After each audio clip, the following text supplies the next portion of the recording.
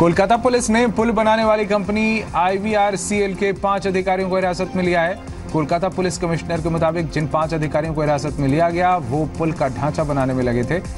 इस बीच कोलकाता में कंपनी के लोकल ऑफ़िस को सील कर दिया गया है। इसके अलावा कोलकाता हाईकोर्ट में एक पीआईएल दायर कर इस बात की मांग की गई है कि कंपनी इसकी जानकारी दे कि उसने पुल बनाने में किन सामग्री का इस्तेमाल किया था।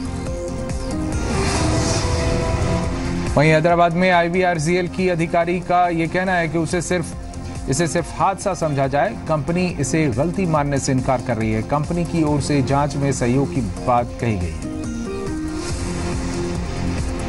It is merely an accident that had taken place. It is the, the investigation is still in process. The why it has happened, nobody is yet to arrive. We are, we are yet to arrive at the uh, we are yet to arrive at the decision. When 59 slabs are constructed using the same material, taking the same permissions, taking take, taking the same approvals from the concerned departments and the statutory authorities, and this, the, in a similar fashion, the 60th one was also constructed, and unfortunately, it collapsed. Meanwhile, IVRCL and its concerned staff will cooperate with the investigation. We will give the maximum support what we have to give. We are anxious to know why it happened as well. We want to know the reason why it happened. Because the same material, after seeking the approvals, only it has been used. पश्चिम बंगाल में 4 अप्रैल को पहले चरण की voting होनी है और कोलकाता में मौत के पुल को लेकर सियासत शुरू हो गई है। बीजेपी ने इस हादसे को लेकर ममता सरकार पर सवाल उठाए हैं। बीजेपी नेता मुख्तार अब्बास नकवी ने पूछा है कि आखिर ब्लैक लिस्टेड कंपनी से काम क्यों करवाया जा रहा था? बीजेपी ने आरोप लगाया कि यह पूरी तरह करप्शन का मामला है। स्टेट गवर्नमेंट में की तरफ़ से जिस तरह का कैजुअल अप्रोच था, इसीलिए मैंने कहा ये कैजुअल अप्रोच नहीं था, बल्कि क्रिमिनल नेग्लिजेंस था। और स्टेट गवर्नमेंट की तरफ़ से ना तो सेंट्रल गवर्नमेंट रिलीफ और रेस्क्यू ऑपरेशन के लिए मदद मांगी गई और ना ही उनको इंफॉर्मेशन दी गई। केंद्र सरकार ने अपने से हम लोगों के, भारतीय जनता पार्टी के लोगों के कहने के बाद तत्काल बिना समय गंवाए हुए। जो भी आसपास अवेलेबल सेंट्रल फोर्सेस थी, उन सेंट्रल फोर्सेस को तत्काल घटनास्थल पर रवाना किया। टीएमसी ने बीजेपी के आरोपों को सिरे से खारिज कर दिया है। टीएमसी नेता डेरेक ओब्रायन ने राहत और बचाव के काम में तेज़ी का हवाला देते हुए ममता सरकार की तारीफ़ की। अभी ये पॉलिटिक्स का टाइम नहीं है, लेकिन ये जो पॉलिटिक्स कर रहा है, मैं क्या बताऊँ? 2007 साल में और 2009 साल में ये ब्रिज का जो कॉन्ट्रैक्ट दिया था, वो सीपीएम गवर्नमेंट से दिया। लेकिन अभी ये जो हुआ, हमारा सरकार में हुआ। But we are not getting into the blame game we will find out who the culprits are we will find out who the culprits are अभी 25 घंटा हुआ। Already in 25 hours the rescue operation the rubble has been cleared. We hear that the rescue operation is over. 70 80 people have been saved. BJP के अलावा कांग्रेस और left भी ममता पर हमलावर हैं। कांग्रेस नेता मनीष तिवारी और सीपीएम नेता नीलोत्पल बासु ने ममता सरकार को हादसे के लिए जिम्मेदार ठहराया। पश्चिम बंगाल की मुख्यमंत्री को इसकी जिम्मेवारी लेनी चाहिए। अगर कोई दुखद हादसा हुआ है, ये कहने की जगह कि वामपंथ ने किया है या किसी और ने किया है, पिछले पाँच साल से उनकी सरकार है पश्चिम बंगाल में। और अगर ऐसा दुखद और दर्दनाक हादसा हुआ है तो मुख्यमंत्री की तो सीधी सीधी जवाबदारी बनती है। महज ये कह के कि वामपंथ की ज़िम्मेदारी है। वामपंथ की सरकार तो पाँच साल पहले चली गई थी। तो जिम्मेवारी अगर आपकी है तो आपको उसकी उसकी ज़िम्मेदारी की कसौटी पे खड़ा हो खड़ा उतना उतरना चाहिए। ये तमाम इसका जो मैनुअल है J N U R M के तहत जो प्रोजेक्ट्स का आ, इसका ज़िम्मेदारी स्टेट गवर्नमेंट का बनता है।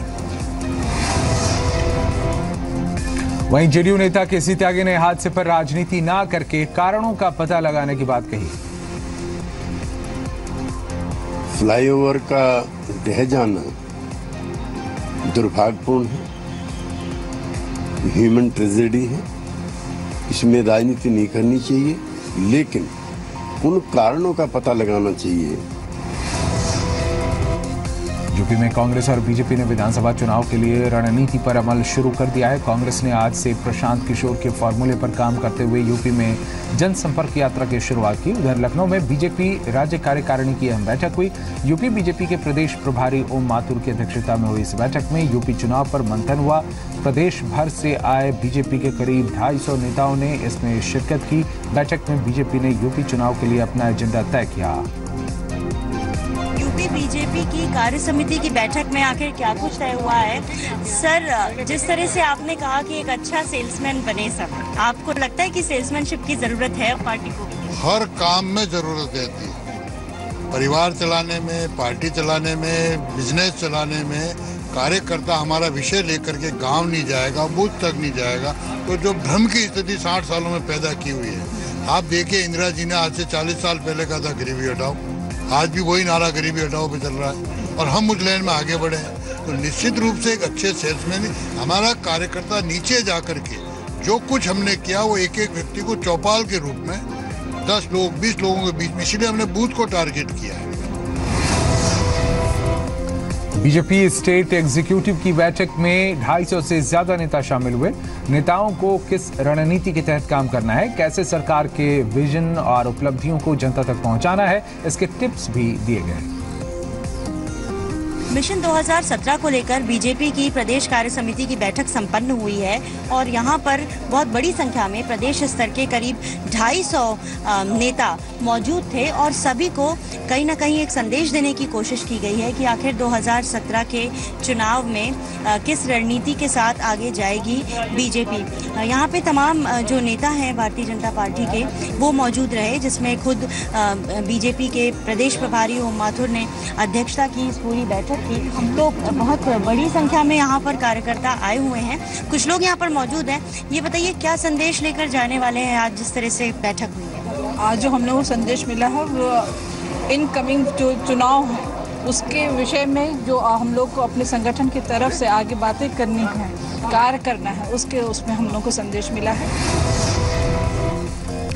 राष्ट्रीय मानव अधिकार आयोग ने सूखे से बेहाल बुंदेलखंड वासियों को लेकर यूपी और मध्य प्रदेश सरकार को नोटिस जारी किया है। एनएचआरसी ने मीडिया की रिपोर्ट्स पर इस मामले में स्वतः संज्ञान लिया है। बेहाल बुंदेलखंड पर 28 मार्च 2016 की रिपोर्ट को देखते हुए एनएचआरसी ने इसे जीवन समानता और सम्मान के मानव अधिकार का उल्लंघन मानते हुए नोटिस भेजा है। दोनों राज्यों के मुख्य सचिव से इस बारे में विस्तृत रिपोर्ट तलब की है। बुंदेलखंड में सूखे के प्रकोप से किसानों की खुदकुशी का सिलसिला थमने का नाम नहीं ले रहा। है यूपी के जालौन में कर्ज और फ़सल की बर्बादी के कारण एक किसान ने आत्महत्या कर ली। घटना की जानकारी मिलने पर प्रशासनिक अधिकारी पुलिस के साथ मौके पर पहुँचे और जाँच के बाद शव को पोस्टमार्टम के लिए भेजा। मामला उरई तहसील क्षेत्र के ग्राम गढ़र का है, जहाँ पर किसान छक्कीलाल निरंजन ने फ़सल बर्बाद होने पर अपने खेत में लगे पेड़ पर फांसी लगाकर आत्महत्या कर ली। मृतक किसान छक्की लाल के भतीजे दिनेश कुमार निरंजन के मुताबिक उसके पास चार एकड़ ज़मीन थी, जिस पर दो बैंकों से पचास हज़ार का कर्ज था। साथ ही पचास हज़ार का कर्ज गाँव के साहूकारों से भी ले रखा था, लेकिन सूखे और ओलावृष्टि के कारण पूरी फ़सल बर्बाद हो गई, जिसके चलते उसने खुदकुशी कर ली। सर, ये अपने खेत पर गए, वहीं पर सुबह ये गए और दोपहर के लगभग इन्होंने वहीं बबूल का पेड़ था, उसी पर इन्होंने रस्सी डाल के और अपने आप को फांसी लगा ली। एस डी एम तहसीलदार और कानून को काफ़ी अधिकारी और दो तीन गाड़ी पुलिस की सभी लोग आए उन्होंने पंचनामा भर के अभी बॉडी को पोस्टमार्टम के लिए वही भेज दिया है मेडिकल कॉलेज। के द्वारा आत्महत्या अपने खेत में कर लिया गया मौके पर उनका शव पेड़ पे पाया गया जिसे उतार करके और पोस्टमार्टम के लिए भेज दिया गया। इसकी जाँच की जा रही है और जाँच के उपरांत ही सब स्थिति पूरी स्पष्ट हो पाएगी। विवादों में घिरी यूपी की मदरसा बोर्ड के इम्तिहान को लेकर राज्य सरकार को इलाहाबाद हाईकोर्ट से बड़ी राहत मिली है। मदरसा बोर्ड के इम्तिहान मदरसों की जगह यूपी बोर्ड के स्कूलों में कराने के राज्य सरकार के फैसले पर इलाहाबाद हाईकोर्ट ने भी अपनी मोहर लगा दी है। कोर्ट ने इसे मदरसों में नकल रोकने का सही कदम बताया है। आपको बताया कि मदरसा बोर्ड से सामूहिक नकल को शिकायतों सामूहिक नकल की शिकायतों और मदरसों में बुनियादी सुविधाओं की कमी के चलते राज्य सरकार ने एक सर्कुलर जारी किया था, जिसके मुताबिक मदरसा बोर्ड के इम्तिहान मदरसों की जगह यूपी बोर्ड के परीक्षा केंद्रों में कराए जाएँ। लेकिन इस आदेश के खिलाफ गौतम बुद्ध नगर के मदरसा संचालक आफरीन अहमद ने हाईकोर्ट में एक याचिका दाखिल की थी। कोर्ट ने फ़िलहाल राज्य सरकार की तरफ़ से दी गई उस दलील पर अपनी सहमति दी है। इस फैसले के बाद ये साफ़ हो गया है कि अब 3 अप्रैल से शुरू हो रहे मदरसा बोर्ड के इम्तिहान। इस बार मदरसों से बाहर यूपी बोर्ड के स्कूलों में होंगे, जिसमें चार लाख छप्पन हज़ार साठ परीक्षार्थियों को शामिल होना है। इसके लिए सूबे में एक हज़ार चार सौ उनसठ परीक्षा केंद्र बन मदरसे में मदरसे बोर्ड एग्जामिनेशन नहीं होंगे, बल्कि सरकारी इंटर कॉलेजेस में होंगे। इस निर्णय को चैलेंज करते हुए दो याचिका अदालत में दाखिल की गई। इनकम टैक्स पेयर्स को एक बार फिर नई आफत, इन पर टूटी टूटी है। 50 लाख रुपए से ज़्यादा सालाना कमाई वाले इंडिविजुअल्स और एच यू एफ़ यानी को इनकम टैक्स रिटर्न में अपनी संपत्ति का ब्यौरा भी देना होगा। संपत्ति के अलावा टैक्स पेयर्स को अपनी लाइबिलिटी की जानकारी भी देनी होगी।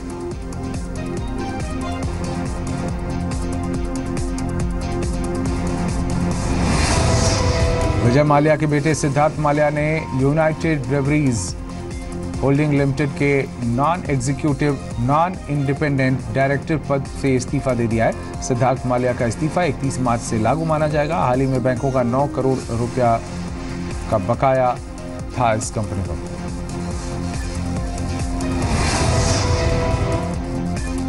सीरियस फ्रॉड इन्वेस्टिगेशन ऑफ़िस यानी एसएफआईओ ने वेलफुल डिफॉल्टर विजय माल्या को 20 अप्रैल तक पेश होने को कहा है। एसएफआईओ माल्या को एक महीने की मोहलत देने की को तैयार नहीं है। मार्च में ऑटो कंपनियों की बिक्री ने रफ्तार पकड़ी है। मार्च में मारुति सुजुकी की कुल बिक्री 16 फ़ीसदी बढ़ी है। इस दौरान कंपनी ने एक लाख उनतीस हज़ार चार सौ पैंतीस कारें बेची। वैगन भारत में 3,877 वेंटो कारें रिकॉल करेगी। साथ ही कंपनी ने इनकी बिक्री भी बंद कर दी है। जिन वेंटो कारों को रिकॉल किया जा रहा है वो डेढ़ लीटर डीजल इंजन और मैनुअल गियर बॉक्स वाले मॉडल्स में। स्पेक्ट्रम नीलामी में देरी हो सकती है। दरअसल रक्षा मंत्रालय ने स्पेक्ट्रम खाली करने के लिए एक महीने का वक्त मांगा है। पहले रक्षा मंत्रालय को 30 मार्च तक स्पेक्ट्रम खाली करना था।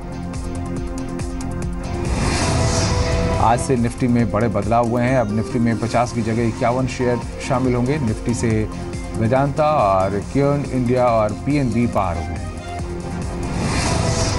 तीन दशकों से देसी और विदेशी सैलानियों को राजस्थान की सैर कराने वाली पैलेस ऑन व्हील्स रेलगाड़ी इस साल मुसाफिरों की घटती तादाद के चलते रद्द कर दी गई है। चौंतीस साल में यह पहली बार है जब इस ट्रेन को कोई मुसाफिर नहीं मिला।